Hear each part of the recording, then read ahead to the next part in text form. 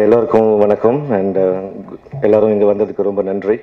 And uh, இந்த project actually it's like Malathi first first எனக்கு as a director அந்த producer வந்து எனக்கு எயிட் இயர்ஸ் ஃபஸ்ட் ஃபஸ்ட் நான் ஷார்ட் ஃபிலிம் வந்து அவங்கள தான் வச்சு பண்ணியிருந்தேன். கரெக்ட் மாலத்தி ஞாபகம் இருக்கு இல்லைங்களா? ஆமாம் ஸோ இந்த எட்டு வருஷம் உடைய பயணத்தில் வந்து uh, கடவுள் புண்ணியத்தில் நானும் வளர்ந்துருக்கேன் அவங்களும் வளர்ந்துருக்காங்க. ஸோ இந்த ஸ்கிரிப்ட் சொல்லும்போது இட் வாஸ் டூ லைக் ஒரு குட் ஒரு ஃபேமிலி ட்ராமாவாக இருந்தது. ஸோ இதுக்கான ஒரு லைட் பேட்டர்ன்ஸ் வந்து நாங்கள் எல்லாமே டிஸ்கஸ் பண்ணி முக்கியமாக காஸ்டியூம் சரி அண்ட் ஆர்டிஸ்ட்னு uh, வரும்போது ரேகா மேடமுடைய ப்ரெசன்ஸ் அண்ட் மியூசிக் ஏன்னா ஒளிப்பதிவுக்கு மியூசிக் ரொம்ப முக்கியம். ஸோ ரிஹானா மேம் சரி ஏன்னா எல்லாருமே வந்து தே ரியலி uh, uh, சரி கொஞ்சம் நர்வஸ் ஆகுது ஐம் சாரி எல்லாருமே வந்து ரொம்ப சப்போர்ட்டிவாக இருந்தாங்க. ஸோ அவங்களுடைய பேக் போன் இல்லாமல் இந்த ஃபிலிம் வந்து ஒரு குட் ஒரு பிராண்டிங்காக வந்திருக்காது. And Ezhil bro Ashik bro really thanks எல்லாருக்கும். அண்ட் முக்கியமாக art director sir and my colourist and என்னோட அசிஸ்டன்ட் கே செவன் ஏன்னோ இவங்க எல்லாருமே they were to backbone for this project and ரொம்ப நன்றி. அண்ட் முக்கியமாக ப்ரெஸ் அண்ட் மீடியா ரொம்ப நன்றி ஃபார் அஸ் தேங்க்யூ பண்ணதுக்கு எல்லாருக்கும் ரொம்ப நன்றி. அதாவது ஏற்கனவே சொன்ன தூண்ணு சுட சைஸை பார்த்து சொன்னச்சா என்னன்னு தெரியல. பட் இருந்தாலும் இந்த ப்ராஜெக்ட் வந்து uh, ரொம்ப uh, ஃபாஸ்ட்டாக பண்ண ஒரு ப்ராஜெக்ட் அப்படின்னே சொல்லலாம். அதாவது இப்போ நம்ம என்ன சொல்லுவாங்கன்னா சில படங்கள்லாம் நம்ம எடுப்போம். அதாவது ஃபர்ஸ்ட் லுக் வந்துட்டு போன விஜயதசமிக்கு ரிலீஸ் பண்ணாங்க அப்படின்னா படம் வந்து அடுத்த தீபாவளிக்கு ரிலீஸ் பண்ணுற மாதிரி ஒரு விஷயங்கள்லாம் நிறைய போயிட்டு இருக்கும் ஸோ அப்படி இருக்கும்போது மாலதி வந்து அவங்க ஃபர்ஸ்ட் என்கிட்ட பேசினது ப்ராமிஸ் பண்ணது எல்லாமே அவங்க வந்து பெர்ஃபெக்டா பண்ணிட்டு இருக்காங்க ஸோ அதுக்கே ஒரு மிகப்பெரிய ஒரு வாழ்த்துக்கள் மாலதிக்கு சொல்லிடலாம். அண்ட் uh, இதுல வந்துட்டு ரேகா மேம் ரேகா மேம் வந்து எப்பவுமே வந்து ஒரு பயங்கர ஜோவியலான ஒரு பர்சன் ஆனா அவங்கள வந்து பார்க்கும்போது எல்லாருமே ரொம்ப சீரியஸாவே பார்த்துட்டு இருப்பாங்க. ஐயோ இவங்க வந்து ரொம்ப ஒரு மாதிரி கொடூரமான ஆளா இருப்பாங்க போலயே அப்படின்ற மாதிரி. ஆனா அப்படி கிடையவே கிடையாது. அவங்க வந்து பழகி பார்த்தா தான் தெரியும். அவ்வளவு ஸ்வீட்டான ஒரு பர்சன் இந்த படத்துல ஒரு கேரக்டர் பண்ணிருப்பாங்க அது அவங்களோட ரியல் லைஃப் கேரக்டர் அப்படின்னு சொல்லலாம். பட் அந்த நேச்சரா மட்டும் சொல்றேன் நானு. நீங்க என்ன பார்த்தீங்கன்னா நேச்சரா அவங்க அவ்வளவு ஃப்ரெண்ட்லி அது மட்டும் இல்லாம ஷூட்டிங்ல வந்துட்டு எப்படி சொல்லுவாங்கன்னா அஹ், சாப்பாடுலாம் ஆர்டர் பண்ணிடுவோம். அவங்களே வந்து அவங்க கையால எடுத்து இந்த கூட்டாஞ்சோறு மாதிரி ஃபுல்லா கையாலே பரிமாறி சூப்பரா அந்த அளவுக்கு ஒரு தாழ்மை உணர்வு வந்து கொடுத்தாங்க.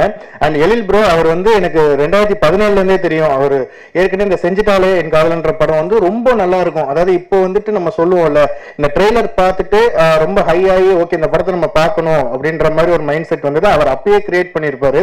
ஸோ அவர் இந்த படத்தில் அவர் கூட சேர்ந்து பெர்ஃபார்ம் பண்ணதில் ரொம்பவே சந்தோஷம். And Rihana ma'am Rihana ma'am வந்து எனக்கு ரொம்ப ஒரு ஃபேவரட்டான ஒரு மியூசிக் மியூசிஷியன் அப்படின்னு சொல்லலாம். இப்போ அவங்களோட ஓகே அவங்க வந்து நமக்கு மியூசிக் போட்டிருக்காங்க. அதில் நம்ம வந்துட்டு நடிச்சிருக்கோம் அப்படின்னு நினைக்கிறதே ஒரு பெரிய பாக்கியமாக நான் வந்து நினைக்கிறேன். Thank you thank you so much ma'am and Benny அந்த மூன் ராக்ஸ் டீம் அவங்க மூணு பேருமே வந்து அவங்க எப்படின்னா ஏற்கனவே என்னோட ப்ரீவியஸ் ப்ராஜெக்ட்ல வந்து ஒர்க் பண்ணியிருக்காங்க. அதில் வந்து நான் சொன்ன ரொம்ப நல்லா பண்ணியிருந்தாங்க இந்த ஷூட் குருவின்ற ப்ராஜெக்ட்ல அப்புறம் நான் மாலத்திட்ட சொன்னேன் அவங்க நல்லா பண்ணுவாங்க. அவங்களுக்கு நம்ம ஒரு இது பண்ணுவோம் அப்படின்னும் போது அதுக்கேற்ற மாதிரி அவங்க அவங்க ப்ராமிஸ் பண்ணதை சூப்பராகவே எக்ஸிக்யூட் பண்ணியிருக்காங்க. அதுக்கே ஒரு மிகப்பெரிய வாழ்த்துக்கள் உங்களுக்கு. அண்ட் ஆர்ட் டைரக்டர் பிரதர் அவர் வந்து நான் ஏற்கனவே சொன்ன மாதிரி அந்த யாத்திசை படம் பார்த்துட்டு இதை இந்த பட்ஜெட்ல எப்படி பண்ணீங்கன்ற ஒரு பிரமிப்பு எப்போதுமே நான் அவர்கிட்ட அந்த கேள்வி கேட்டே இருப்பேன். அதுக்கேற்ற மாதிரி அவரும் எப்போதுமே என்ன சர்ப்ரைஸ் பண்ற மாதிரி பதில் சொல்லிட்டே இருப்பாரு. இந்த இந்த ப்ராஜெக்ட் இது இந்த இந்த இவ்வளவுதான் பட்ஜெட் இப்படிதான் பண்ணிட்டோம் அப்படின்னுவாரு. அந்த வகையில் அவரோட ஒர்க்கில் பெஸ்ட் கொடுத்துருக்காங்க. அண்ட் ஜேசன் ப்ரோ இவர் தான் ஒரு மெயினானது இப்படி ஒரு விஷயம் எனக்கு கிரியேட் ஆயிருக்கு அப்படின்னா அதுக்கு முக்கிய காரணம் அவரோட ஒளிப்பதிவு அவ்வளவு நல்லா இருந்ததுனால தான் பார்க்கறதுக்கு ரொம்ப பிளசண்டா இருக்கு. இந்த சப்ஜெக்ட்டுக்கு அது ரொம்பவே ரொம்ப ஆப்டா இருக்கு பிரதர் அண்ட் எடிட்டர் கமல் அவன் தான் இருப்பான் ஆனா வரமாட்டான் மேல.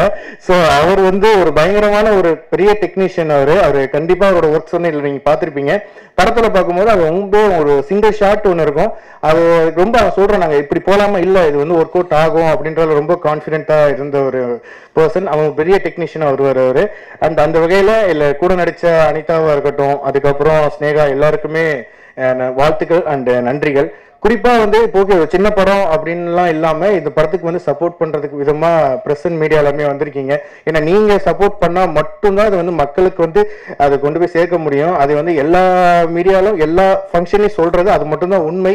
ஏன்னா இப்போ வந்துட்டு ஓகே இப்படி ஒரு படம் வருதுன்னு சொல்லி நீங்க தான் வந்து அவங்கள்ட்ட வந்து சேர்க்க போறீங்க. நீங்க தான் ஒரு ப்ராப்பரான ஒரு இதை வந்து சொல்லி சேர்ப்பீங்க அப்படின்ற ஒரு நம்பிக்கையில என்னோட உரையை முடித்துக் கொள்கிறேன். அண்ட் ஸ்பெஷலா விஜய் வர்மா என்னுடைய க்ளோஸ் ஃப்ரெண்டுங்க அவரு. அவர் வந்து இப்பதான் பிக் பாஸ் முடிச்சுட்டு வந்தோடனே நான் வந்து கேட்டேன் இல்ல மச்சான் நீ வந்து கொஞ்சம் நம்ம படத்துக்கு வந்து ஒரு சப்போர்ட்டா இருக்கும். வந்து கொஞ்சம் சில வார்த்தைகள் படத்தை பத்தி பேசிட்டு போன்னு சொன்னோடனே எந்த ஒரு மறுப்புமே இல்லாம ஓகே நான் வரேன் அப்படின்னு சொல்லிட்டு வந்த விஜய் வர்மாக்கு மிகப்பெரிய நன்றிகள். ஏன்னா இப்போ நான் வந்து என்னதான் மீடியால இத்தனை வருஷம் இருந்தாலுமே போயிட்டு அந்த ஃபேவர்னு கேட்கறதுக்கு ஒரு பயங்கர ஒரு கூச்சமா இருக்கும். ஆனா இவன்ட்ட நான் ஃபேவர் எல்லாம் கேட்கல. இவன் வரணும் அப்படின்றது வந்து நண்பனா அது ஒரு கடமை. அது கரெக்டாவே வந்திருக்காரு. So thank you thank you so much எல்லாருக்கும் வணக்கம். ஆஷிக் ஆக்சுவலாக எல்லாத்தையும் பேசி முடிச்சிட்டாரு நான் வச்சிருந்த பாயிண்ட்டு ஸோ நான் பேசிக்காக சொல்லணும்னு நினைக்கிறது வந்துட்டு சின்ன சினிமா எடுக்கிறவங்கலாம் இனிமேல் சினிமாவுக்கு வராதங்க அப்படின்னு சொல்ற அளவுக்கு இன்னைக்கு சினிமா இருக்கிற ஒரு நிலமையில ஒரு சின்ன சினிமாவுக்கு சப்போர்ட் பண்ணிருக்கு பண்ணுறதுக்காக பண்றதுக்காக வந்திருக்கிற ஒவ்வொருத்தருக்கும் சிறந்தாழ்ந்த நன்றிகள் முதல்ல.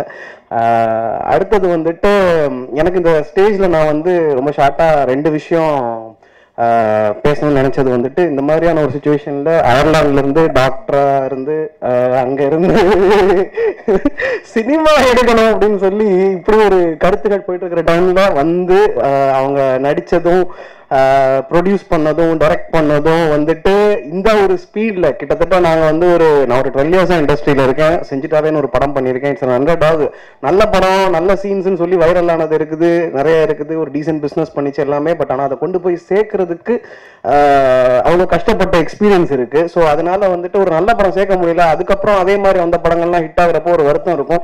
ஸோ இந்த ப்ராஜெக்டில் நான் லேண்ட் ஆனதுக்கும் இந்த ப்ராஜெக்ட்ல நான் செலக்ட் பண்ணதுக்கும் நான் ஃபஸ்ட்டு ப்ரொடியூசர் அண்ட் டைரக்டர் மாலத்திக்கு டாக்டர் மலத்தி ஃப்ரம் அயர்லாண்ட் அவங்களுக்கு வந்து நான் முதல்ல நன்றி சொல்லணும்னு கடமைப்பட்டிருக்கேன்.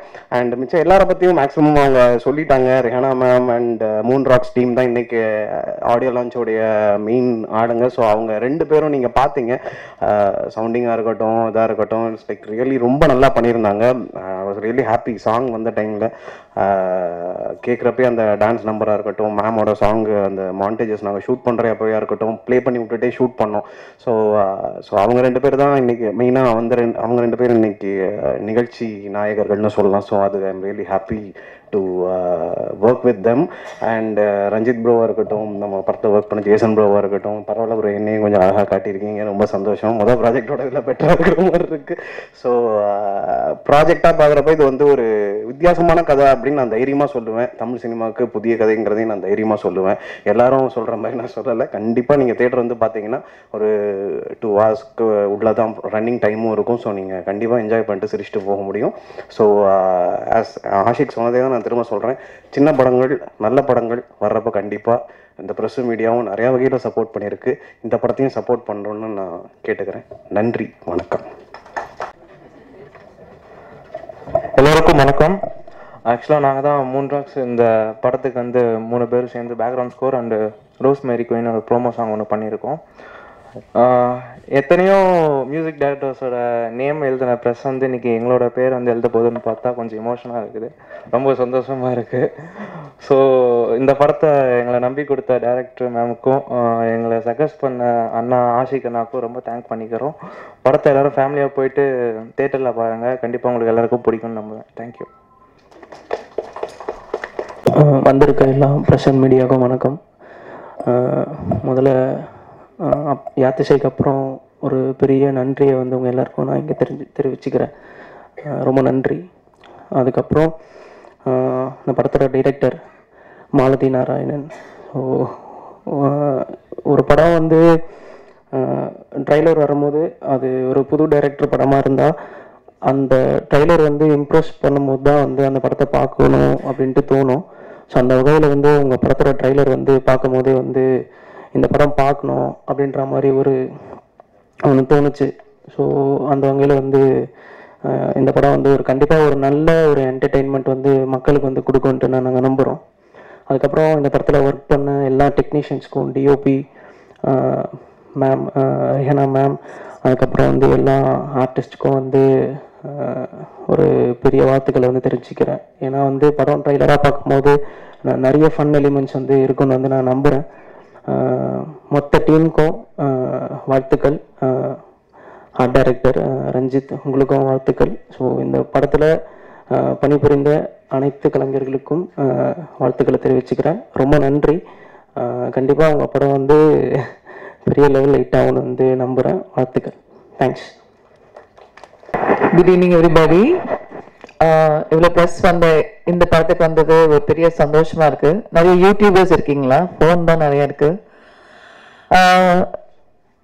தேனி தெரியுமா உங்களுக்கு? தேனி என்ன பண்ணணும் கிடுகிடு கிடுகிடு கிடு கிடுன்னு எல்லா வேலையும் பண்ணிடும் அதாவது இந்த சில உமன் இருக்காங்க. வெரி ஸ்பெஷல் அவங்க காலையில எழுந்து சமைச்செல்லாம் முடிச்சுட்டு வீட் இந்த வேலையும் பார்த்துட்டு அவங்க ஆஃபீஸ் வேலையும் பார்த்துட்டு அதுக்கப்புறம் அவங்களுக்கான கிரியேட்டிவ் வேலையும் பார்த்துட்டு எல்லாத்தையும் முடிச்சு அப்புறம் இன்னும் என்ன வேலை இருக்குன்னு கேட்பாங்க. அதுதான் Malathi Narayan. So she's a doctor director everything and ஸ்பாட்ல ஏதாவது வேணும்னா அந்த வேலையும் செஞ்சிருவாங்க. ஸோ அந்த மாதிரி ஒரு uh, என்ன சொல்றது? வெரி என்டர்பிரைசிங் லேடி அவங்க ஒரு வித்தியாசமான கதையும் வித்தியாசமான ஒரு ஆம்பிஷனோடையும் இங்க வந்து இந்த டைரக்ஷன் பண்ணியிருக்காங்க. So as a lady she's doing it so you should all encourage her அவங்க என்கிட்ட வரும்போது அவங்களுக்கு எந்த மாதிரி பாட்டு வேணும் அப்படின்னு கேட்டிருந்தாங்க. சும்மா ஒரு குத்து பாட்டு மாதிரி. ஆஹ் கலகலப்பா வேணும் அப்படின்னு சொன்னாங்க. அது சாங்காக நாங்கள் பிக்சரைஸ் பண்ண மாட்டோம். அது படத்தில் வந்து சுச்சுவேஷனலாக தான் இருக்கும்ட்டு ஸோ ஒரே ஒருத்தர் கூட ஏன் கைத்தட்டி என் பாட்டு போட்டு போயிருக்கிறப்ப வருத்தமாக ரொம்ப இருக்கு. கஷ்டப்பட்டு போய் நாங்க போடுறோம்.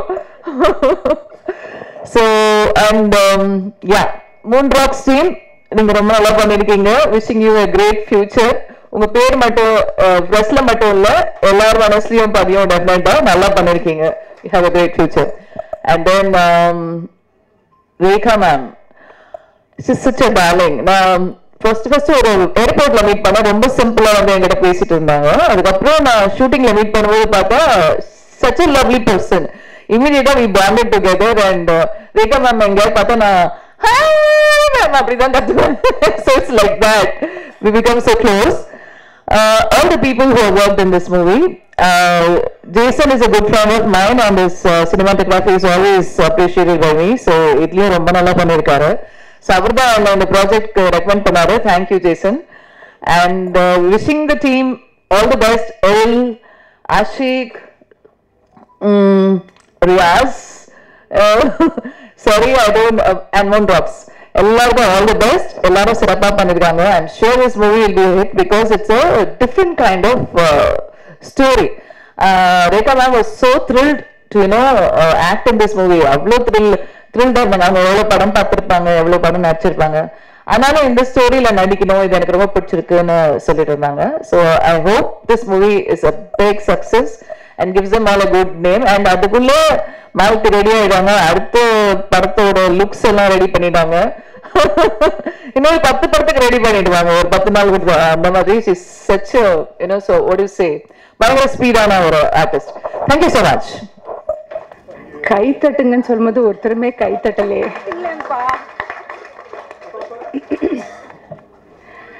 அதாவது ரொம்ப நாள் ஆச்சு. குட் ஈவினிங் டு ஆல் எல்லாருக்கும் வணக்கம். ஸ்டேஜில் இருக்கவங்க உங்களுக்கு எல்லாருக்கும் ரொம்ப ஹாப்பியாக இருக்குது நான் வந்து இன்றைக்கி வந்து ஒரு சின்னதாக ப்ரிப்பேர் பண்ணிட்டு வந்தேன். ஏன்னா எதுனாலும் லப லப லப லபன்னு பேசிடுவேன் அது வந்து ரெண்டு வார்த்தைகள் மற்றது ஈவெண்ட் எங்கே எந்த ஃபங்க்ஷன்ஸ்னால் அதை அப்படியே கொஞ்சம் யூகிச்சு என்ன பேசுகிறாங்கன்னு பார்த்துட்டு அப்படி சொல்லிடுவோம். பட் இதில் வந்து ஒரு நல்ல கேரக்டர் பண்ணும்போது ரெண்டு மூணு பாயிண்ட்ஸ் எடுத்துகிட்டு வந்திருக்கேன்.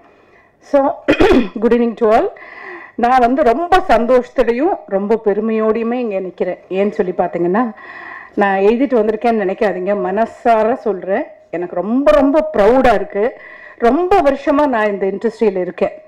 பாரதராஜா சாரோடைய முதல் படம்லேருந்து இன்னைக்கு பெரிய பெரிய லெஜெண்ட்ஸ் டைரக்டர்ஸ் பெரிய பெரிய கோ ஆக்டர்ஸ் டெக்னீஷியன்ஸ் எல்லாரோடையும் ஒர்க் பண்ணியிருக்கேன். ரொம்ப ஹாப்பியாக இருக்குது டேலண்டட் டைரக்டர்ஸ் நல்ல கேரக்டர்ஸ் எல்லாம். ரொம்ப பெரிய பாக்கியம். அது ஒரு பெரிய கிஃப்ட்னே சொல்லி நினைக்கிறேன். இது வந்து எல்லாம் கடவுளுடைய அனுகிரகமும் உங்களை மாதிரி இருக்கிற ப்ரெஸ் பீப்புளோட அனுகிரகம் தான். இந்த தேர்ட்டி ஃபைவ் இயர்ஸ் உங்களுடைய ப்ரெஸ் பீப்புள் எல்லாருமே எனக்கு ரொம்ப சப்போர்ட் பண்ணியிருக்கீங்க. ஏன்னா நான் வந்து ஒரு நெக்ஸ்ட் டோர் லேடி மாதிரி தான் உள்ள கேரக்டர்ஸ் பண்ணியிருக்கேன். இது வரைக்கும் நான் வந்து ரொம்ப செக்ஸியாக அந்த மாதிரி ரோல்ஸ் எல்லாம் பண்ணதில்லை. அப்போத்துலேருந்து ரேக்கா ரேகா ரேகான்னு எல்லாருமே வந்து அவ்வளோ நல்லா சப்போர்ட் பண்ணியிருக்கீங்க. அது ரொம்ப எனக்கு சந்தோஷமாக இருந்துச்சு. அதே மாதிரி என் மேலே பாசம் வச்சுருக்கிற என்னுடைய ஃபேன்ஸ் என்னுடைய ஃபேன்ஸ் வந்து தமிழ் தெலுங்கு கன்னடா மலையாளம் எல்லா லாங்குவேஜும் பண்ணியிருந்தாலும் இவ்வளோ தூரம் நான் இங்கே வந்து நிற்கிறதுக்குள்ள ரீசன் அவங்க தான் கடவுளுடைய ஒரு பிளஸ்ஸிங்கும் இருக்குது என்னுடைய முதல் படத்துலேருந்து இன்னைக்கு வரைக்கும் நிறைய கேரக்டர்ஸ் ஹீரோயின் ரோல்ஸ் பண்ணியிருக்கேன் கேரக்டர்ஸ் பண்ணியிருக்கேன். அதில் வந்து ஒவ்வொரு காலகட்டத்திலையும் நான் நடித்து வந்த படங்களில் இருக்க பேரை சொல்லி கூப்பிடும்போது நமக்கு ரொம்ப சந்தோஷமா இருக்கும். அப்படி வந்து கூப்பிடும்போது அது ஒரு பெரிய வாக்கியம் தான். அது என்ன சொல்கிறது அது ஒரு பிளஸ்ஸிங்னு சொல்லலாம் வாக்கியம்னு சொல்லலாம் ஒரு கிஃப்ட்னு சொல்லலாம். அந்த மாதிரி நம்ம நடித்த படங்கள்லேருந்து பேரை கூப்பிடுவாங்கல்ல அந்த மாதிரி பேர் வந்தது தான் கடலோர கவிதைகளில் வந்த ஜெனிஃபர் டீச்சர். கைத்தட்டவேலையே இல்லையே. ஜெனிஃபர் டீச்சர் இன்னைக்கு வரைக்கும் யாருமே மறக்க முடியாத ஒரு கேரக்டர் அதுக்காக என்னுடைய குருநாதர் பாரதராஜா சாருக்கு நான் நன்றி கடன் பட்டிருக்கேன். அதே மாதிரி பார்த்தீங்கன்னா புன்னகை மன்னனில் அந்த ரஞ்சினின்னு சொல்கிற கேரக்டர் புன்னகை மன்னன் வந்து நான் ஒரு 15 டேஸ் தான் பண்ணியிருக்கேன்.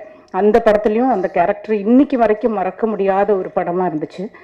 அதுக்கப்புறமா விசு சார் படங்கள் வந்து ரெண்டு மூணு படங்கள் பண்ணியிருந்தாலும் அதுல உமான்ற ஒரு கேரக்டர் வந்து எப்பவுமே நிற்கும் அது வந்து அந்த கிஷ்மு சார் கூட கூட ஒரு படம் வரவு நல்ல உறவு எல்லாம் கேரக்டர் பண்ணும்போது அது இன்னைக்கும் நிறைய பேர் சொல்லுவாங்க அந்த உமா கேரக்டர் பண்ணிருங்களே வாட் அ வண்டர்ஃபுல் கேரக்டர்ஸ் அப்படின்னு சொல்லியிருக்காங்க. அது கேட்கும்போது நம்மளுக்கே சந்தோஷமா இருக்கும். தேட்டர்லேயோ இல்லாட்டினா வேற ஏதாச்சும் டிவிலையோ படங்கள் போகும்போது நம்மளை கூப்பிட்டு நம்மளுக்கு இப்போ நிறையா டெக்னிக்கலாக இம்ப்ரூவ்ட் ஆகிட்டோம் அப்போல்லாம் மொபைல் கூட கிடையாது. இப்போ வந்து கூப்பிட்டு நம்மள்ட்ட சொல்கிறாங்க உங்கள் படம் போயிட்டுருக்கு போயிட்டு இருக்கு பாருங்க போயிட்டு இருக்கு எல்லா சேனல்ஸ்லையும் போயிட்டு இருக்கு பாருங்க அப்படின்னு சொல்லும்போது போய் பார்க்குறோம். அந்த மாதிரி ஒரு படம் கேரக்டர் எங்கள் ஒரு பாட்டுக்காரன் மாதிரி நிறைய கேரக்டர்ஸ் இன்னசென்ஸ் கேரக்ட் பண்ணியிருக்கேன். பட் அந்த காவேரின்ற கேரக்டர் ஆஷா போன்ஸ்ல டைரக்ஷன்ஸில் பாட்டில் நடிச்சிருக்க அந்த கேரக்டர் எல்லாருடைய மனசுலையும் ரொம்ப பிடிச்ச அந்த செண்பகமே செண்பகமே பாட்டில் நடிச்சு போயிட்டு சொல்லுவாங்க காவேரி ரொம்ப நல்ல கேரக்டர் மேடம் உங்களுது அப்படின்னுவாங்க. அதே மாதிரி மலையாளத்தில் எடுத்துட்டிங்கன்னா ராம்ஜி ராவ் ஸ்பீக்கிங் ராணின்ற கேரக்டர் வந்து ரொம்ப எக்ஸலண்ட்டான கேரக்டர் அது. அதுக்கப்புறம் ம், தசரதம்னு ஒரு படம் பண்ணேன். அந்த மூவி வந்து இது கூட கனெக்ட் ஆயிருக்கான்னு எனக்கு தெரியாது பட் அது டிஃப்ரெண்ட் கேரக்டர்ஸ் நான் மோகன்லால் சார் சிபிமலையில் டைரக்ஷனில் நடிச்சிருப்போம். அந்த ஆனின்ற கேரக்டர் வந்து அவ்வளோ பெரிய ரெஜிஸ்டர் ஆயிடுச்சு அது. அதுக்கு கிரிட்டிக்ஸ் அவார்டு வாங்கியிருக்கேன் நான் கேரளாவில் அந்த ராணி கேரக்டருக்கு அப்புறமா தசரதம்ல ஆனி கேரக்ட் பண்ணேன் ஏ ஆட்டோவில் வந்து மீனுக்குட்டின்றது இன்னைக்கு வரைக்கும் மறக்க முடியாத ஒரு கேரக்டர் மீனுக்குட்டியை மறந்து நான் எங்கேயாச்சும் ஸ்டேஷன்லேயோ இல்லாட்ட ஏர்போர்ட்லேயோ போயிட்டு இருக்கும்போது ரேகான்னு கூப்பிட்டா நான் திரும்பி பார்த்துட மாட்டேன். மீனுக்குட்டின்னா நான் டக்குன்னு திரும்பி பார்த்துருவது என்னையா இருக்குமா அப்படின்னு சொல்லி.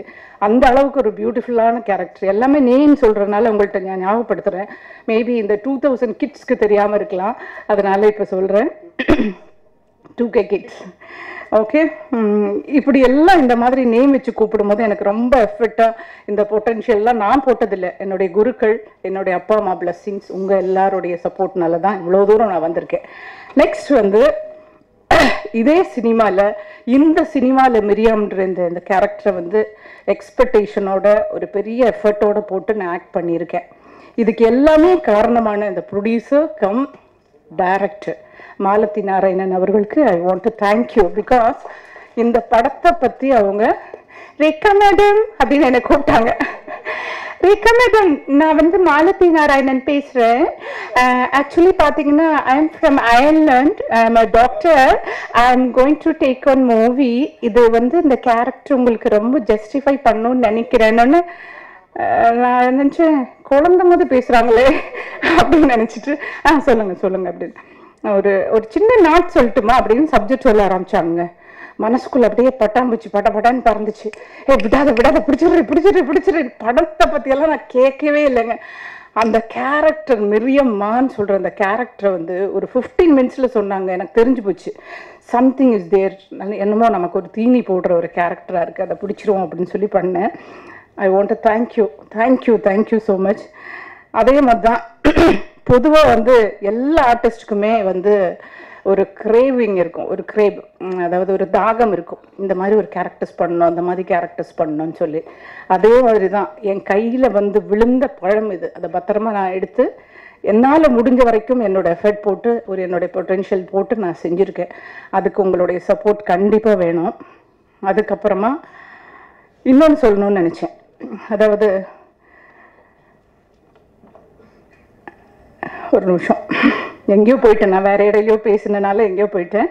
ஆ இந்த ஷூட் பண்ணிட்டு இருக்கும்போது ஃபர்ஸ்ட் எழிலெலாம் வந்து நிறைய படம் பண்ணியிருக்காங்களே மேடம் அப்படின்னு சொல்லிட்டு ரெண்டு மூணு நாள் ஒட்டவே இல்லை. என்னோட சன் கேரக்டர்ல அது. ஒட்டாமல் இருக்கும்போது நான் கூப்பிட்டேன் எழில் இங்கே வா. அப்படின்னோடனே ஃபர்ஸ்ட் வாங்க போங்க அப்படின்னு சொல்லிட்டு இருந்தேன். அப்புறம் எழில் வாங்க பில் எழில் அப்படின்னேன் அப்புறம் இன்னொரு படமாக ஏதோ நாங்கள் பேசிட்டு அது நடக்கல. அது அந்த படம் நடிச்சுட்டு அது நடக்கல. அதுக்கப்புறம் இங்கே வாங்க போங்கன்னு சொல்லிட்டே இருந்தேன். அப்பவும் ஓட்டலை இல்லை இங்கே வாங்க அப்படின்னு சொன்னேன் அடுத்த நாள் ஏ இங்கே வாடா அப்படின்னு சொல்லி கூப்பிட்டேன். அப்புறம் மேடம் அப்படி நீ இந்த கேரக்டர் வந்து அதை அப்படி உள்ளார வாங்கி என்னுடைய சன்னோட கேரக்டர் அதோட மிக்ஸ் ஆகி அந்த பிளண்ட் ஆனால் மட்டும்தான் இதில் நாங்கள் ரெண்டு பேரும் பண்ண முடியும். ஏன்னா நானும் மாலதி நாராயணனும் இதில் வந்து ரொம்ப அப்படி ஒரு ஜெல் ஆயிட்டோம். இந்த கேரக்டர் சன் கேரக்டரும் நீ அப்படி வரணும். யாஷுக்கு என்ன சொன்னாலும் அப்படி சிரிச்சிட்டு எஸ் எஸ் சொல்லிட்டு நல்லா காமெடி பண்ணிட்டு போயிடுவாரு. அந்த கேரக்டர் அவர்கிட்ட அப்படி கொண்டு வரும்போது நல்லா அப்படி ரெண்டு மூணு நாள் ரொம்ப கஷ்டமா இருந்துச்சு. ஆனால் அதுக்கப்புறம் அதை புரிஞ்சிட்டு அதை நல்லபடியாக பண்ணாரு. வெல்லன் தேங்க்யூ அதே மாதிரி தான் இந்த ஃபேமிலியில் இந்த கேரக்டர்ஸ் பண்ணும்போது ஃபஸ்ட்டு மாலதி நாராயணனோட ஃப்ரெண்ட் ஒருத்தர் ஜெயந்தின்னு இருக்காங்க. எங்கே இருக்காங்கன்னு தெரியல. அவங்களும் சரி எனக்கு ஒரு பிரதராக இந்த படத்தில் வந்து கோபின்னு ஒருத்தர் கிடச்சிருக்காரு. அவரும் சரி. ஃபஸ்ட்டு ஒரு ரெண்டு மூணு நாள் வந்து இந்த சினிமா பொறுத்தவரையில் மாமா அச்சான் அப்படியெல்லாம் சொன்னால் நான் நம்ப மாட்டேன். யாரையுமே யாரையும் அண்ணனும் சொல்ல மாட்டேன் மாமானையும் சொல்ல மாட்டேன் ஒன்றும் சொல்ல மாட்டேன். அவர் வந்து மேடம் மேடம் சொல்லிட்டு இருக்கும்போது ரெண்டு மூணு நாள் வந்து நல்லா ஹெல்ப் பண்ணுறதுக்கும் எங்களை பிக்கப் பண்ணுறதுக்கும் ஏன்னா அது ஒரு மாதிரி ரொம்ப க்ரௌடடான ஒரு ஏரியாவில் ஒரு வீட்டுக்குள்ளே ஷூட்டிங் நடந்தது. அங்கே கார் பார்க்கிங்லாம் ரொம்ப கஷ்டம். ஸோ எங்களை பிக்கப் பண்ணுறதுக்கெல்லாம் வந்து அவர் ரொம்ப அவர் வந்து ஒரு ஆர்கிடெக்ட் தான் அவர் இன்ஜினியர் இருந்தாலும் எங்களை வந்து பிக்கப் பண்ணும்போது ரெண்டு நாள் எனக்கு கொஞ்சம் டவுட்டாக இருந்துச்சு. என்னடா இப்படி இருக்காரு? நிஜமாலுமே இவர் உண்மையாக பாசமாக இருக்காரா இல்லையான்னு ஒரு கியூரியாசிட்டி இருந்துச்சு. அப்புறம் பார்த்தா சிஸ்டர் பயப்படாதீங்க. என்னன்னா சிஸ்டர்னு பயம் இல்லாமல் கொஞ்சம் க்ளோஸ் ஆகிட்டேன் அவரையும் சரி ஜெயந்தியும் சரி என்னுடைய காஸ்டியூம் டிசைனர் நிஷாவும் சரி எல்லாருமே வந்து என்ன ஒரு குடும்பம் மாதிரி அதாவது அவங்க வீட்டில் வந்து சாம்பார் குழம்பு எல்லாம் செஞ்சாங்கன்னா அதெல்லாம் எடுத்துகிட்டு வந்துருவாங்க. போகும்போதே சாப்பிட்ருவோம் ஷூட் தொடங்க ஆரம்பிச்சிட்டோன்னா Malathi is very serious character வாங்க வாங்க வாங்க முடிச்சிடலாம் முடிச்சிடலாம் முடிச்சிடலான்னு வாங்க ரொம்ப ஹாட் அந்த கிளைமேட்டு அந்த வீட்டுக்குள்ளே பயங்கர ஹாட்டாக இருக்கும். எங்கள் கேமராமேன் வந்து கிம்பிள் வந்து காலையில் ஒரு எயிட் தேர்ட்டிக்கு வச்சாருன்னா சாயந்தரம் ஒரு செவன் தேர்ட்டி வரைக்கும் அப்படியே தூக்கிட்டே நிற்பாரு பாவம் அவ்வளோ கஷ்டப்பட்டிருக்காரு.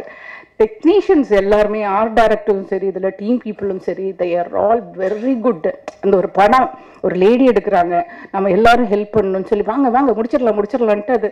அதில் வந்து என்னென்னா இந்த படத்தை பொறுத்தவரையிலும் ஒரு சென்டிமெண்ட்ஸ் இருக்குது ஒரு துக்கம் இருக்குது ஒரு ஃபன் எலிமெண்ட் இருக்குது அதுக்கப்புறம் பார்த்தீங்கன்னா ஒரு கிவ் அண்ட் டேக் இந்த நீ பிடிச்சிக்கோ இது பிடிச்சிக்கோ இதை பிடிச்சிக்கோ அப்படின்னு கிவ் அண்ட் டேக் அது இருந்தால் மட்டும்தான் இந்த மாதிரி ஒரு ஃபன் எலிமெண்ட் வரும். எனக்கு வந்து நிறைய சீரியஸ் கேரக்டர் ஆஷிக் சொன்ன மாதிரி என்னை பார்த்தா குடும்பக்காரி மாதிரியா இருக்கு. அதாவது ஒரு கேரக்டரை எப்படி காமிக்கிறாங்கன்றது ஒன்று ப்ரெசன்டேஷன் காமிக்கிறது ஒன்று ஆட்டிடியூட்னு ஒன்று இருக்குது ரெண்டாவது வந்து ஒரு கேரக்டர் சீரியஸாகவே நிறைய படங்கள் பண்ணியிருக்கேன் நான். இப்போ எம்புருஷன் தான் எனக்கு மட்டும்தான் படத்துல வந்து இந்த வச்சலா கேரக்ட் பண்ணியிருப்பேன் பாருங்க. ஒரு சின்ன குழந்தைய வந்து ரூம்குள்ள பூட்டிட்டு போயிட்டு அதுக்கப்புறம் போய் தியேட்டர்ல போய் படம் பார்த்துட்டு வருவேன். விஜயகாந்த் சார்ட்ட வந்து பலார்னு ஒரு அடி வாங்குவேன்.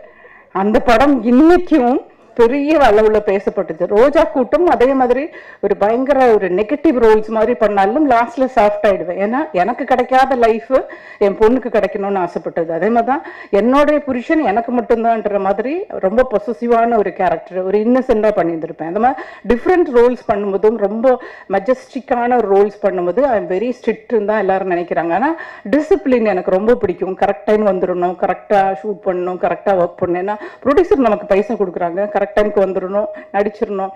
அப்படி பார்த்த சில விஷயங்கள்லாம் வந்து மாலதி நாராயணன் சோ கிளீன்டு ஏன்னா அவங்க யூஎஸ் அப்ராட்லலாம் பார்த்தீங்கன்னா அவங்க அவங்க வேலையை பார்க்கணும்ல கீழே வந்து ஏதாவது ஒரு டஸ்ட் இருந்துச்சுன்னா அவர் டிஷ்யூ பேப்பர் எடுத்துட்டு வந்து அப்படியே தொடச்சிட்டு எல்லாம் கட் ஷார்ட் ரெடி ஷார்ட் ரெடின்னு வாங்க டேரக்டராக இருப்பாங்க ரைட்டராக இருப்பாங்க. கேமராவை பார்த்துக்குவாங்க ஆர்டிஸ்ட் பார்த்துக்குவாங்க அப்புறம் நம்ம நல்லா இருக்கமான்னு டச்சப் கொடுங்க. ரீகா மேடம் வேர்க்குது அப்படின்னு சொல்லி எல்லாமே கான்சன்ட்ரேஷன் பண்ணுவாங்க. She is very talented very talented நான் சொன்னேன் இன்னும் நிறைய எழுத ஆரம்பிங்க. இப்போ போய் ஒரு ஆறு மாதம் ரெஸ்ட் எடுத்து அங்கே சம்பாதிச்சுட்டு வாங்க. திருப்பி ஒரு சின்ன ஒரு படம் எடுக்கலாம். நாங்கள் சின்னதாக தான் எடுக்கலாம்னு நினச்சோம் இந்த படத்தை. ஆனால் நல்ல பட்ஜெட் விழுந்திருக்கு. ஏன்னா வி ஸ்டார்டட் ஃப்ரம் வெரி லோவில் எடுத்துடலாம்னு தான் ஒரு பிளான் பண்ணோம். ஆனால் நிறைய நீட்டி நீட்டி நீட்டி போயிடுச்சு. இதை இன்னும் கொஞ்சம் எடுத்துடலாமே இதையும் இந்த சாங் கொஞ்சம் எடுத்துடலாமே அதை எடுத்துடலாமே இதை எடுத்துடலாமே வி ஆல் கோஆப்ரேட் பண்ணாங்க எல்லாருமே. எல்லாருமே ஒரு கிவ் அண்ட் டேக் இருந்துச்சு இந்த படத்தை பொறுத்தவரையில். எனக்கு ரொம்ப பெரிய தீனியாக இருந்துச்சு. அது கிடச்சதுனால எனக்கு ரொம்ப ரொம்ப சந்தோஷம். நான் இன்னைக்குன்னு சொல்கிறேன் என்னுடைய டாட்டர்கிட்ட வந்து யூஎஸில் படிக்க வைக்கணும்னு நான் ஆசைப்படல. அவங்க ஆசைப்பட்டாங்க. அவங்க இப்போ வந்து நியூயார்க்கில் இருக்காங்க. அவங்கள போய் பார்த்துட்டு வந்து ஒரு ஒரு ரெண்டு மூணு நாளாக எனக்கு ஜெட் லாக்காகவே இருக்குது அவங்க அவங்க பாட்டுக்கு இருந்துக்கிட்டோம் ஹஸ்பண்ட் ஹஸ்பண்ட் பாட்டுக்கு பிஸ்னஸ் பண்ணட்டும். ஆனால் நான் சென்னையில் தான் இருப்பேன். சென்னையில் தான் இருக்கேன். நிறைய பேர் சொல்கிறாங்க மேடம் நீங்கள் கேரளாவில் இருக்கீங்களா? இல்லை அப்ராட் போயிட்டீங்களா? இல்லை யூகே போயிட்டீங்களா? அப்படின்னு சொல்லி கேட்குறாங்க எனக்கு சினிமா நிறைய பண்ணணும். அதாவது என்னை பொறுத்தவரையிலும் என்னை பொறுத்தவரையிலையும் நான் சொல்கிறேன் சினிமா வந்து எனக்கு பணம் முக்கியமே இல்லை. எனக்கு different kind kind of characters வேணும். ஜஸ்டிஃபை பண்ணுற மாதிரி ரோல்ஸ் வேணும். அப்படின்னா நான் ready to do small budget big budget whatever it is நான் கேரக்டர்ஸ் என்கிட்ட வந்து சொன்னால் அந்த கேரக்டர்ஸ் வந்து இப்போல்லாம் என்னென்னா நாளைக்கு மறுநாள் ஷூட்டிங்னா மேடம் நாளைக்கு மறுநாள் ஷூட்டிங் இருக்கு வரீங்களா அப்படின்னு சொல்லி கேட்பாங்க. ஒரு கேரக்டர்னா எங்கள்கிட்டலாம் எங்களுக்கெல்லாம் ஒரு முப்பது வருஷத்துக்கு முன்னாடி எப்படி இருந்ததுன்னா டேரக்டர் வந்து ஃபோனில் கதை சொல்வார். அப்புறம் ஹீரோ ஹீரோயினுக்கு ஈக்குவல் கேரக்டர்ஸ் இருக்கும். அதுக்கப்புறமா பார்த்தீங்கன்னா அந்த கேரக்டர்ஸ்க்கு வந்து சாங்ஸ் இருக்கும். அது ரொம்ப ஈக்குவல் ஆகிடுச்சு இப்போல்லாம் கமர்ஷியல்ஸும் பயங்கர விஷுவல்ஸ் நிறையா ஒரு என்னது கமர்ஷியல் மூவிஸ் வர ஆரம்பிச்சோன்னா ஹீரோயின்ஸோட கேரக்டர்ஸ் கொஞ்சம் கம்மியாக ஆரம்பிச்சிருச்சு. கேரக்டர் ரோல்ஸே கிடைக்க மாட்டேங்குது. ஆர்டிஸ்ட்க்கு என்னை விட டேலண்டட் எவ்வளோ பேர் இருக்காங்க. நான் மிகப்பெரிய ஃபேன் சோபனா மேடம் நிறைய படங்கள் பண்ண மாட்டேங்கிறாங்களே. ஊர்வஷி மேடம் எனக்கு ரொம்ப பிடிக்கும். அவங்களும் அதே மாதிரி தான் நிறைய கேரக்டர்ஸ் கிடச்சிச்சின்னா ஆர்டிஸ்ட் நடிக்கிறதுக்கு ரெடியாக இருக்கும். ஆனால் அந்த மாதிரி ரோல்ஸ் வர்றதில்ல. நம்ம போய் எல்லா கம்பெனிலையும் தட்டி கேட்குறத விட நீங்கள் தான் சொல்லணும். எங்களுக்கு இந்த மாதிரி டேலண்ட் இருக்குது உங்களுக்கு கேரக்டர்ஸ் பண்ண முடியும். ஏஜ் இஸ் ஒன்லி நம்பர் அப்படின்னு சொல்லுவாங்க. அதே மாதிரி இந்த வயதெல்லாம் நான் பொருட்படுத்தவே இல்லை. நல்லா மெடிடேஷன் பண்ணிக்கணும் யோகா பண்ணிக்கணும் உங்களை ஃப்ரெஷ்ஷாக வச்சுக்கணும். நீங்கள் ஒரு நாற்பது வயசாண்டாலே லேடிஸ் எல்லாம் ஒரு கருவேப்பிலை மாதிரி தூக்கி போட்டுருவாங்க. நான் சினிமாவை பொறுத்தவரை நடிச்சுக்கிட்டே இருக்கணும். என்னோட உயிர் உள்ள வரைக்கும் நான் நடிச்சுக்கிட்டே இருக்கணும். சென்னையில் தான் இருக்கணும். நல்ல நல்ல ரோல்ஸ் பண்ணணும். அதுதான் எனக்கு மிகப்பெரிய ஆசை. அதுக்கு நீங்கள் எல்லாரும் சப்போர்ட் பண்ணணும். எங்களுடைய டீம் பீப்புளை சப்போர்ட் பண்ணுங்கள் விக்ரம் ஜெயிச்ச மாதிரி ஜெயிலர் ஜெயிச்ச மாதிரி லியோ ஜெயிச்ச மாதிரி சின்ன படங்களும் வரட்டும். அப்பதான் டெக்னீஷியன்ஸ் வாழ்வாங்க. எல்லா டெக்னீஷியன்ஸும் வாழ்றதுக்கு அதில் ஒரு காம்படிஷன்ஸ் பாருங்கள் இந்த படம் இவ்வளோ கலெக்ட் பண்ணியிருக்கு அவ்வளோ கலெக்ட் பண்ணி வரட்டுங்க கரெக்டாக கலெக்ட் பண்ணட்டும். நமக்கெல்லாம் எட்டு லட்சம்ல எடுத்தவங்க எண்பது லட்ச ரூபா சம்பாதிச்சிருக்காங்கன்னு டிஸ்ட்ரிபியூட்டர்ஸ்லாம் சொல்லியிருக்காங்க. இந்த மாதிரி கோடி கணக்கில் க்ரோஸ் கணக்கில் எல்லாரும் சம்பாதிக்கட்டும். எல்லா படங்களும் வரட்டும். எல்லா டெக்னீஷியன்ஸும் சம்பாதிக்கட்டும். இந்த மாதிரி படங்களுக்கு நீங்கள் சப்போர்ட் பண்ணும்போது definitely she'll take another movie இன்னும் டெக்னீஷியன்ஸ் வருவாங்க. இன்னும் நிறைய கேரக்டர்ஸ் எங்கள்கிட்ட இருந்து வெளியே கொண்டு வரலாம் நீங்கள் அதுக்கு நீங்கள் சப்போர்ட் பண்ணணும். எங்களோட டீம் பீப்புளையும் எனக்கு ப்ரொடக்ஷன் பீப்புள்லேருந்து லைட்மேன்லேருந்து எல்லாருக்கும் நான் தேங்க் பண்ணணும் இத்தனை வருஷமா. ரேகான்ற ஒரு நல்ல கேரக்டரை நீங்கள் வந்து எனக்கு ஒரு நல்ல லைஃப் அமைஞ்சது. நல்ல கல்யாண லைஃப் அமைஞ்சது. நல்ல மகளை படிக்க வச்சுருக்கேன். இனிமேல் வந்து பணத்துக்காக இல்லாட்டினாலும் ஜஸ்டிஃபை பண்ணுற மாதிரி ரோல்ஸ் நான் பண்ணணும். அதுக்கு உங்கள் எல்லாருடைய சப்போர்ட் கண்டிப்பாக வேணும். தேங்க்யூ மெரியம்மை வந்து பெரிய ஹிட் ஆக்கி கொடுப்பீங்கன்னு நம்புகிறேன் தேங்க்யூ ஸோ மச் எல்லாருக்கும் வணக்கம். என்ன சொல்றது தெரியல.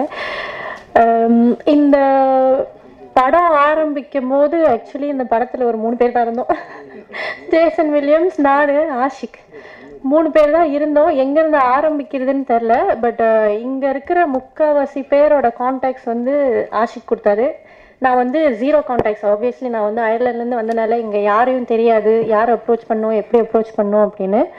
ஸோ எல்லாரோட கான்டாக்ட்ஸ் கொடுத்தது பிக் பில்லர் ஆஃப் சப்போர்ட் வந்து ஃப்ரம் த வெரி பிகினிங் டில்னா வந்து ஜேசன் வில்லியம்ஸ் அண்ட் ஆஷிக்னு நான் சொல்லுவேன். கண்டிப்பாக எங்கே போனாலும் சொல்லுவேன். இன்னைக்கு வரைக்குமே வந்து ஆஷிக் வந்து கால் பண்ணி எப்படி போயிட்டுருக்கு?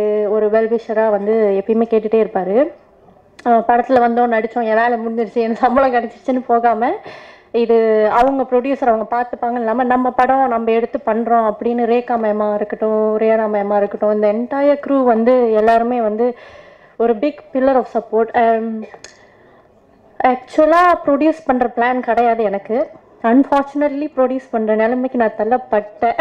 அதான் உண்மை. நீங்கள் நினச்சிக்காதீங்க. என்ன இவங்களே ப்ரொடியூஸ் பண்ணுறாங்க இவங்களே டைரக்ட் பண்ணுறாங்க இவங்களே நடிச்சுக்கிறாங்க. ப்ரொடக்ஷன் என் பிளானே கிடையாது. Uh, but by God grace எனக்கு தெரியல. நிறைய பேர் இந்த ப்ராஜெக்ட்குள்ளே வந்தாங்க வெளில போனாங்க. அது இப்போ நினச்சி பார்க்கும்போது ப்ராப்ளி நல்லதுக்கு தான் போல அப்படின்னு எனக்கு தோணுது.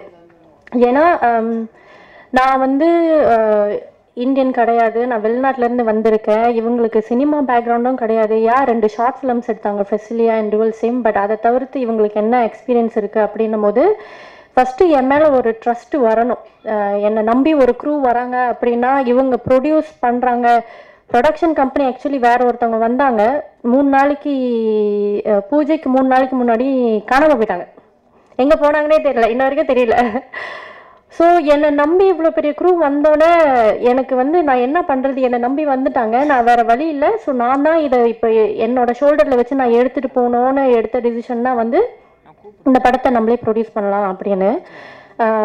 ஒப்வியஸ்லி ரேகா மேம் சொன்ன மாதிரி இது ஒரு ஸ்மால் ஸ்கேலாக தான் ஆரம்பிச்சுது. அப்புறம் ரியானா மேம் உள்ள வந்தாங்க. ஜேசன் வில்லியம் இன்ட்ரடியூஸ் பண்ணி ரேனா மேம் உள்ள வந்தாங்க. அப்புறம் ஆஷிக் இன்ட்ரடியூஸ் பண்ணி ரேகா மேம் உள்ள வந்தாங்க. அப்புறம் சேயோன் இன்ட்ரடியூஸ் பண்ணி ரஞ்சித் உள்ள வந்தார். ஸோ இந்த க்ரூ அப்படியே பெருசாகிட்டே போச்சு. அப்புறம் பெரிய என்ன கேட்டால் இது எனக்கு பொறுத்த வரைக்கும் என்னோட பாக்கெட்க்கு இது வந்து ஸ்மால் ஸ்கேல் படம் கிடையாது. என்னை பொறுத்த வரைக்கும் இது பிக் ஸ்கேல் என்னோட பாக்கெட்க்கு அப்புறம் அதான் நிறைய பேர் வந்து அந்த ட்ரஸ்ட்டுன்னு ஒன்று வந்து கெயின் பண்ணுறதுக்கே ஆக்சுவலி கொஞ்சம் நாள் ஆச்சு. இங்கே வந்து சில பேர் உள்ளே வந்தாங்க. ஹோப் கொடுத்தாங்க நான் பண்ணுறேன் இந்த ரோல் நான் பண்ணுறேன்னு சொல்லிட்டு. அதுக்கப்புறம் இவங்க எப்படி இதை பண்ணுவாங்க? இவங்க ஒருவேளை வந்துட்டு அவங்களையும் தப்பு சொல்ல மாட்டேன். அவங்களுக்கும் டவுட்ஸ் இருக்கும். இவங்க வந்து வெளிநாட்டிலேருந்து வந்திருக்காங்க. படம் பண்ணிட்டு பாதியிலே விட்டுட்டு போயிட்டாங்கன்னா நாளைக்கு என் பேர் கெட்டு போயிடும் அப்படின்னு சொல்லிட்டு இந்த ப்ராஜெக்ட்லேருந்து வெளில போனவங்களும் இருக்காங்க. ஐ ஹோப் அவங்க இதை பார்த்துட்டு இருக்காங்கன்னா thanks because because of you people எனக்கு அது வந்து ஒரு பெரிய கான்ஃபிடென்ட் பூஸ்ட் பண்ணுச்சு. நான் வந்து இதை ப்ரூவ் பண்ணியே ஆகணும் நான் காட்டணும் அப்படின்னு சொல்லி இந்த என்டையர் க்ரூ வந்து என்னை நம்பி என் மேலே ஒரு நம்பிக்கை வச்சு ட்ரஸ்ட் வச்சு இந்த படம் பண்ணுவாங்க. இவங்க கடைசி வரைக்கும் எடுத்துகிட்டு போவாங்க. சில பேர் படம் பண்ணிட்டு இவங்க எங்கே எங் இவங்க எங்கேருந்து ரிலீஸ் பண்ண போகிறாங்க படம் பண்ணுவாங்க அப்படியே விட்டு போயிடுவாங்க அப்படின்னு நினைக்காம கடைசி வரைக்கும் என் கூட இருந்து இந்த படத்தை இவங்க வந்து திரையரங்குக்கு எடுத்துகிட்டு போவாங்கன்னு என் மேலே நம்பிக்கை வச்சு வந்தவங்க இவங்க எல்லாருக்குமே ரொம்ப நன்றி. ஒரு பிக் பில்லர் ஆஃப் சப்போர்ட்ஸாக சப்போர்ட்டாக எல்லாருமே இருந்திருக்காங்க. மூன் ராக்ஸ் டீமாக இருக்கட்டும். எனக்கு என்னன்னா யங் டேலண்ட்டுக்கு வந்து நம்ம வந்து கண்டிப்பாக வாய்ப்பு கொடுக்கணும் அப்படின்றதுனால தான் ஆக்சுவலாக ரியானா மேம் கூட சொன்னாங்க நானே பிஜிஎம் பண்ணுறேன் படத்துக்கு அப்படின்னு. அப்போது எனக்கு எப்படி இருந்ததுன்னா இல்லை மேம் நம்ம ஒரு ஒரு டைவர்சிட்டி ஒன்று கிரியேட் பண்ணலாம். நீங்கள் சாங் பண்ணுங்கள் அவங்க பிஜிஎம் பண்ணிட்டோம் நான் ரியானா மேம்ட்டையும் அப்படி தான் சொன்னேன். இல்லை நம்ம இந்த பசங்களுக்கு சான்ஸ் கொடுப்போம் அவங்க நல்ல டேலண்டட் பீப்புள் ஸோ அவங்களுக்கு கண்டிப்பாக நம்ம சான்ஸ் கொடுக்கணும் அப்படின்னு. பிகாஸ் எனக்கு அந்த பெயின் தெரியும். நான் டூ தௌசண்ட் செவன்டீனில் நான் படம் பண்ண வந்தப்போ என்னை எப்படி டீல் பண்ணாங்க? நான் வந்து ஆக்சுவலாக ஆக்டிங்க்கு தான் நான் வந்தேன்.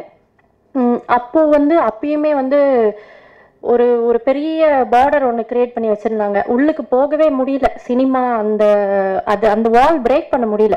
அது என்னன்னு தெரியல. ஸோ அப்போ எடுத்தது தான் நீங்கள் என்ன எனக்கு சான்ஸ் கொடுக்குறீங்க? நான் என் சான்ஸை க்ரியேட் பண்ணுறேன் அப்படின்னு சொல்லி எடுத்த ஒரு டிசிஷன் தான் வந்து பண்ண ஷார்ட் ஃபிலிம்ஸ் எல்லாமே. வேற என்ன சொல்கிறது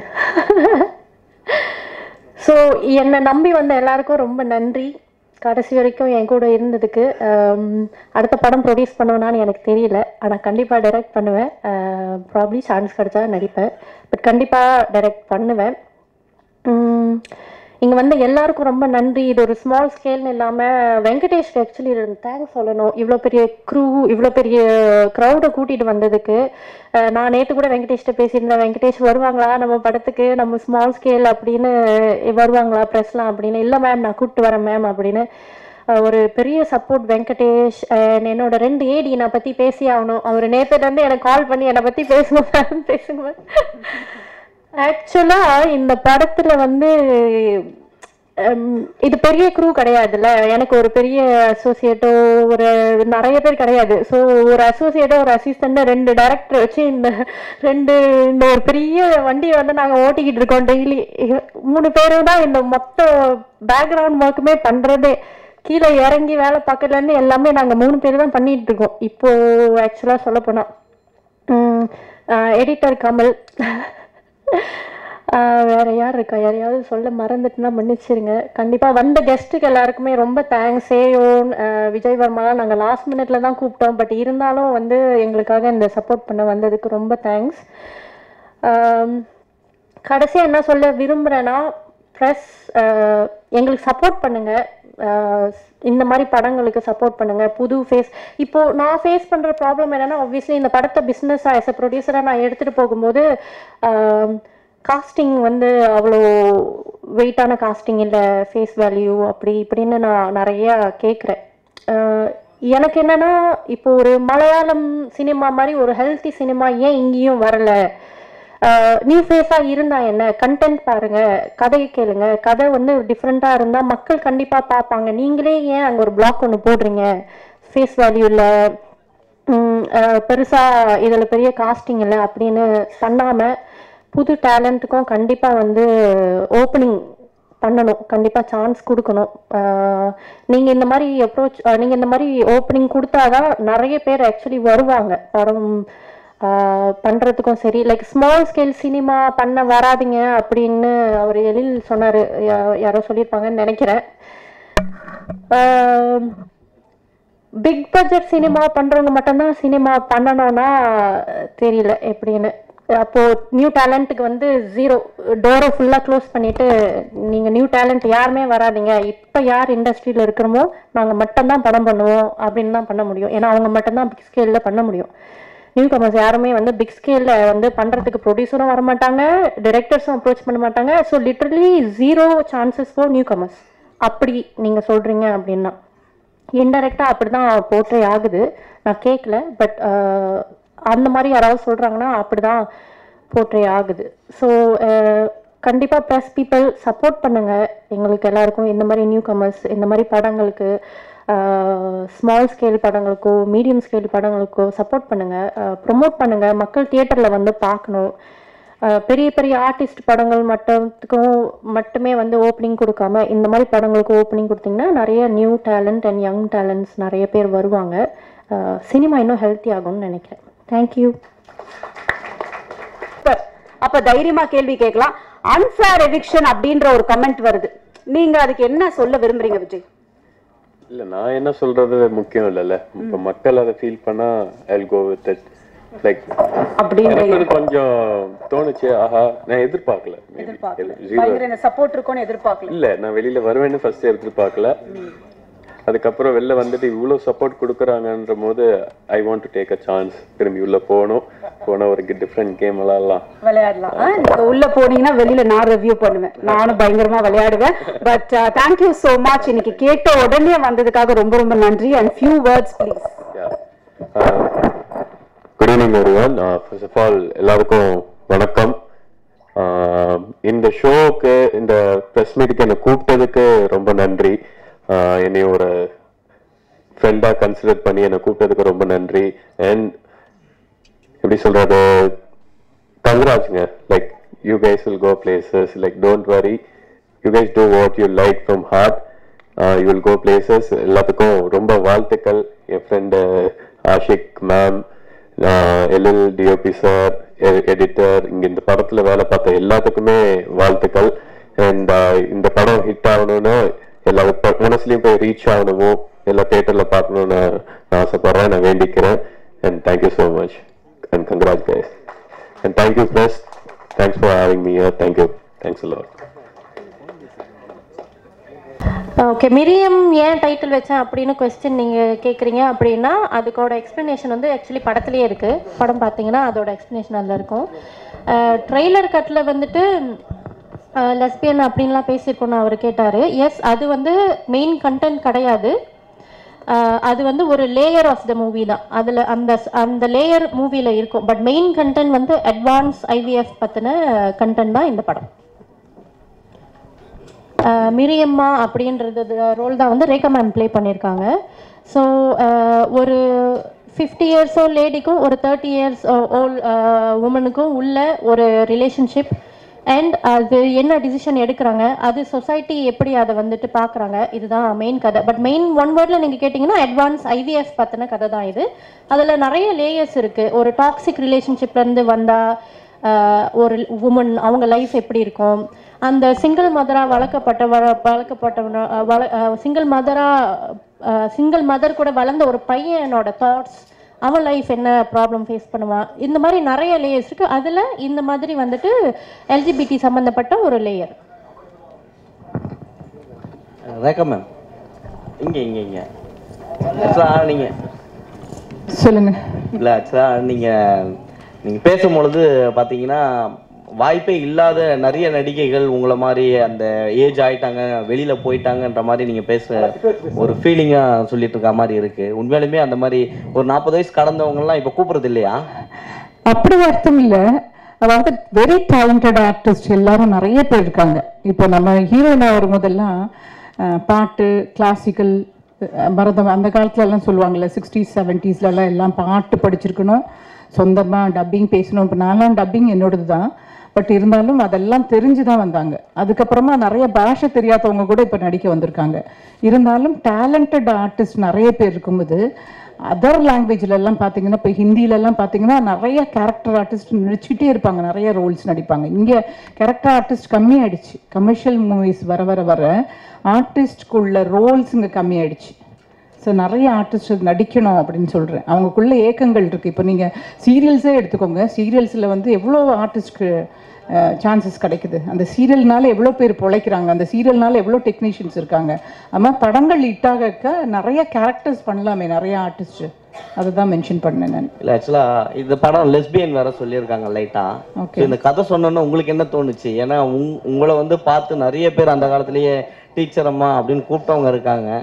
எல்லாம் ஃபேமிலியா பார்த்துட்டு. இல்லை இந்த படத்தை பொறுத்தவரையிலும் லெஸ்பின்ற அந்த ஒரு வார்த்தையோட போயிடும். அது இதை பொறுத்தவரையிலும் ஒரு அட்வான்ஸ்ட் ஐவிஎஃப் அது எப்படி அதனால என் பையனுக்கும் எனக்கும் நடக்கிற உறவுகள் அதுக்கப்புறம் அந்த சென்டிமெண்ட்ஸு அதுக்கப்புறம் அதில் ஃபன் எலிமெண்ட் வர்றது அதுக்கப்புறம் இந்த முப்பது வயசும் ஐம்பது வயசு உள்ள லேடிக்கு ஒரு அது கதை சொல்ல ஆரம்பிச்சிடுவேன் என்னுடைய மனசு நீங்கள் ஓப்பன் பண்ண ஆரம்பிச்சிட்டிங்கன்னா நான் பட பட சொல்லிடுவேன். அப்புறம் ரொம்ப கஷ்டம். அப்புறம் வெளியே கூட்டிட்டு வந்து அவங்க திட்டிடுவாங்க ப்ளீஸ் சொல்லி தான் வச்சாங்க. நீங்கள் உங்கள் மனசுக்கு சொல்லிடுவீங்க. ப்ளீஸ் சொல்லிடாதீங்க. என்று கேட்காதீங்க இல்ல நாங்க மாரியம்மா கேள்விப்பட்டிருக்கோம் மிச்சி அம்மா கேள்விப்பட்டது என்ன மிரி அதான் அம்மா? அதுதான் அந்த அந்த அந்த வார்த்தை நீங்க கேட்கறதுக்கு முன்னாடி நான் சொல்லிட்டேன். அது என்ன? எனக்கு அந்த வார்த்தை இப்ப கண்டுபிடிச்சு சொல்லுங்க. அது என்ன? நிறைய பேர் மலையாளம் படமா தமிழ் படமா அப்படின்னு கேட்டாங்க மிரியம் மா. இதோடைய ஆன்சர் என்னன்றது இந்த படத்துல இருக்கு. இந்த படத்துல இருக்கு. ஏன்னா நான் கேட்டேன் அந்த வார்த்தையை இவங்கள்ட்ட கேட்டேன். உடனே அதை வந்து அவங்க பார்த்து கூகுள்லேயும் போய் பார்க்கும்போது இட்ஸ் வெரி டச்சிங் வேர்டாக இருந்துச்சு. இந்த படத்தில் உங்களுக்கு பார்க்கும்போது உங்களுக்கே அதிசயமாக இருக்கும். ஆஸ் அ நான் வந்து born அண்ட் brought up கிறிஸ்டியனாக இருந்தாலும் எனக்கு அது தெரியும். ஆனால் அவங்கள்ட்ட நான் கேட்டேன். என்ன அர்த்தம் அப்படின்னு சொல்லி. அவங்க கரெக்டாக அது வச்சிருக்காங்க இதில் படத்தில் பாருங்க. கொலை கொலை கொலையா? கொலை கொலையா முந்திரிக்கா என்ன?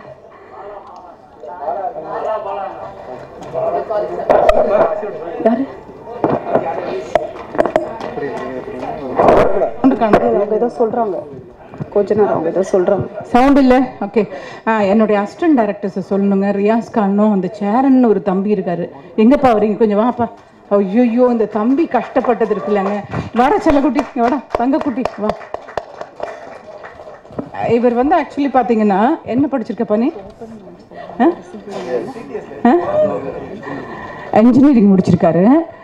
இன்ஜினியரிங் முடிச்சுட்டு எங்களுடைய ஷூட் அப்பவும் சரி என்னுடைய டப்பிங்லேயும் சரி அவ்வளோ கஷ்டப்படுவாங்க. ஐயோ நான் அப்படி கஷ்டப்பட்டு பார்த்ததே இல்லைங்க. அவ்வளோ ஹார்ட் ஒர்க்கர்ஸ் நம்ம வந்து நம்மளுடைய பொட்டென்ஷியல் நம்மளோட எஃபர்ட் என்ன போடுறோமோ கண்டிப்பாக ஜெயிச்சிருப்போங்க.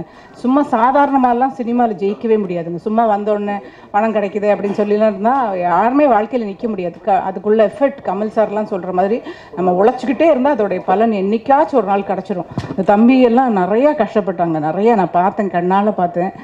சாப்பிடாம கரெக்ட் டைம் டைம் சாப்பிடாம ஒரு டீ குடிச்சிட்டு நைட்டு தூங்கி எழுந்திரிச்சு திருப்பியும் வந்து நாங்கள் அந்த டுவெண்ட்டி ஃபைவ் டேஸ் ஷூட் கண்டினியூவாக பண்ணோம். ரொம்ப ஹாட்டாக இருந்துச்சு அந்த வீட்டுக்குள்ளே. அந்த வீட்டு ஷூட் எடுக்கும்போது அந்த வீட்டில் பெயிண்டிங்லாம் ஒரு வாரத்துலேயே அவங்க ரெடி பண்ணிட்டாங்க. அவ்வளோ டேலண்டட் நான் இப்போ சர்ப்ரைஸ்டு நானே துரு துரு துரு துருன்னு இருப்பேன். இவங்க என்னை விட ஃபாஸ்ட்டாக இருக்காங்களே அப்படின்னு நினச்சேன். Malathi is so talented ice வைக்கிறதுக்காக இல்லை அடுத்த படத்தில் என்னை கண்டிப்பாக கூப்பிடுவாங்க. இருந்தாலும் சொல்கிறேன் தேங்க்யூ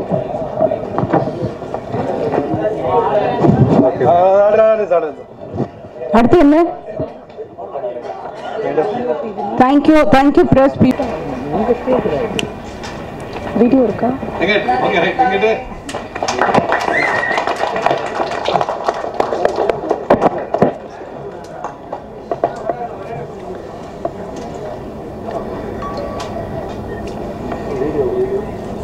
சஞ்சு உங்களுக்கு